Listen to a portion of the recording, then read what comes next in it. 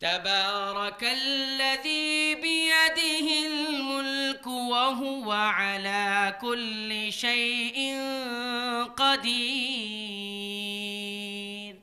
الذي خلق الموت والحياة ليبلوكم أيكم أحسن عملا وهو العزيز الغفور.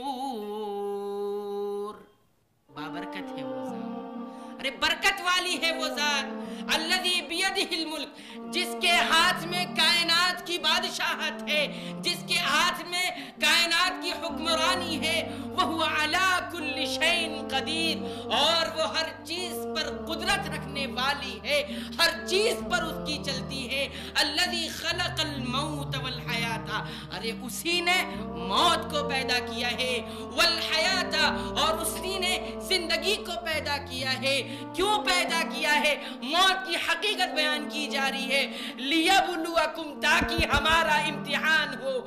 ہمیں آزمایا جائے، ہمارا امتحان لیا جائے۔ ایکم احسن عملا۔ اور یہ دیکھا جائے، ایکم احسن عملا، کہ ہم میں سے کون ہے وہ انسان جو عمل کے اعتبار سے خوبصورت ہے۔ اللہ اکبر۔